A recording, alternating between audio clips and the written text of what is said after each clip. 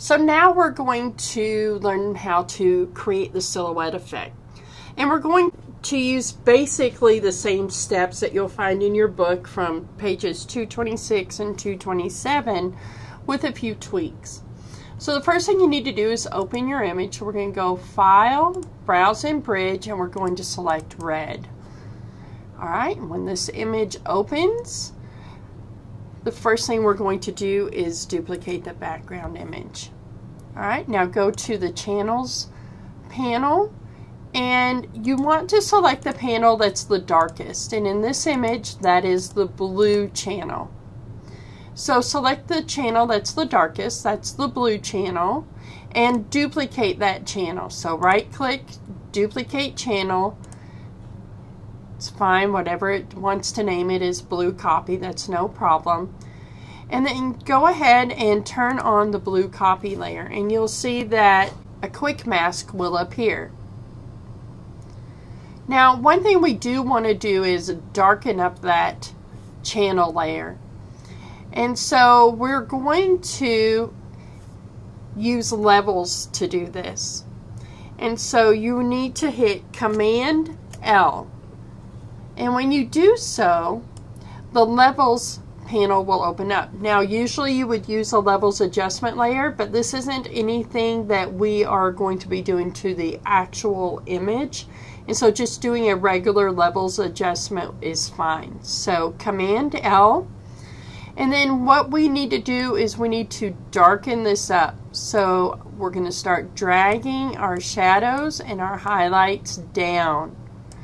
And you see my image being adjusted. You see the shadows and the highlights and then I'm going to bring my highlights up just a little bit. Continue to bring down those shadows and highlights and you see things getting a little bit darker here. Okay.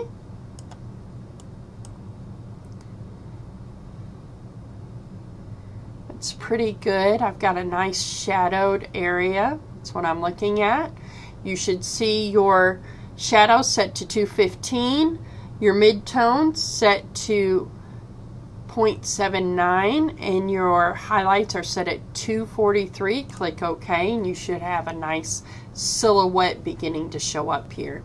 And so now if I turn off my blue channel, the blue copy channel is all that's left, and I'm going to drag that down to create a selection. Now switch back to your layers. And the first thing we're going to do is come down here into our adjustment layer. At the bottom of the layers, select solid color. And we're wanting to make that black. But what you can see is we need to actually invert our selection first. So cancel, go up to select, inverse.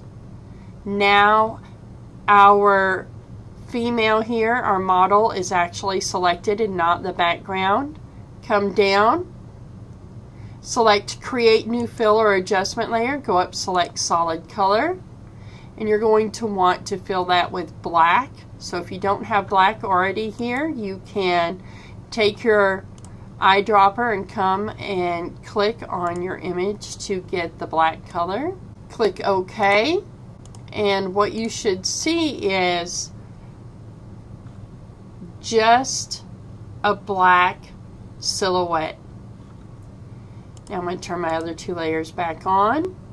And we're going to create a new layer to place in our background. So go ahead and hit Command Shift N. And we're going to name this one Color Fill. And you're going to need to select a bright color for your background. So your choice just needs to be super saturated. I'm going to select a blue color. Use the paint bucket. Make sure you're clicking in the color fill layer that you just created.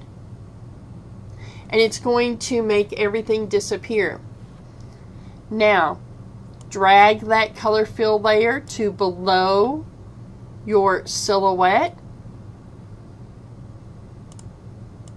Rename the silhouette layer silhouette. And then what you'll want to do is you can go in and clean up like this hair here in your mask. So select a brush. Make sure you've got the mask selected. Again, black is going to hide. So if you have some hairs that are just kind of appearing out of nowhere and don't seem to make any sense, clean up your image just a little bit. You're going to save this one. Once again, make sure your layers are renamed. On your channels panel, you should have your silhouette mask and blue copy there. File, Save As. This is going to be 4C. Your last name. Underscore red. Make sure it's in your Chapter 5 folder and click Save.